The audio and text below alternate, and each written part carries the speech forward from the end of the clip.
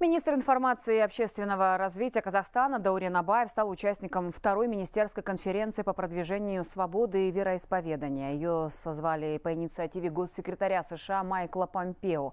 В Вашингтон прибыли представители больше ста государств, тысяча религиозных лидеров и гражданских активистов со всего мира.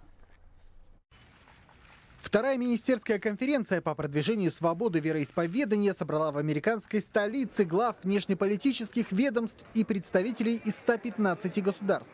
Министр информации и общественного развития Казахстана Даурен Абаев выступил с докладом. По словам главы ведомства, правительство нашей страны намерено и дальше создавать необходимые условия для деятельности религиозных объединений и укрепления межконфессионального диалога. С момента обретения независимости независимости первый президент Казахстана Нурсултан Назарбаев взял курс на свободу вероисповедания и недискриминацию. Благодаря этому участники более чем 3700 объединений, представляющих 18 религий, сегодня в нашей стране живут в мире и согласии. Благодаря большому этническому и религиозному многообразию Казахстан смог создать авторитетную платформу для диалога. Уже шесть съездов лидеров мировых и традиционных религий успешно прошли в нашей столице. Это уникальный формат для обсуждения духовными лидерами самых самых актуальных вопросов глобальной повестки. Участников встречи познакомили с усилиями Казахстана по противодействию экстремизму и терроризму, в том числе по репатриации граждан нашей страны из зон боевых действий в Сирии, их интеграции в казахстанское общество. Даурен Абаев подтвердил на форуме приверженность нового руководства страны во главе с Касым Жумартом Токаевым принципам обеспечения свободы вероисповедания и фундаментальных прав человека.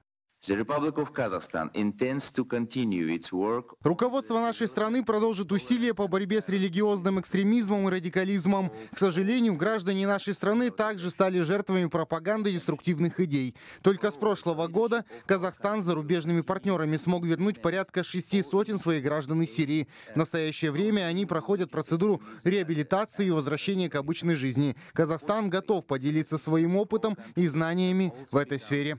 Министр подчеркнул, что Казахстан всегда открыт глобальному сотрудничеству для защиты прав человека и обеспечения религиозной свободы. А на полях конференции Даурен Абаев провел переговоры с послом по особым поручениям по международной религиозной свободе Государственного департамента США и заместителем помощника госсекретаря США по делам демократии, прав человека и труда. Стороны обсудили вопросы двустороннего сотрудничества в сфере межконфессионального согласия, противодействия экстремизму и развития гражданского общества. Марк Брюшко Ринат Садыров, Хабар, 24, США, Вашингтон.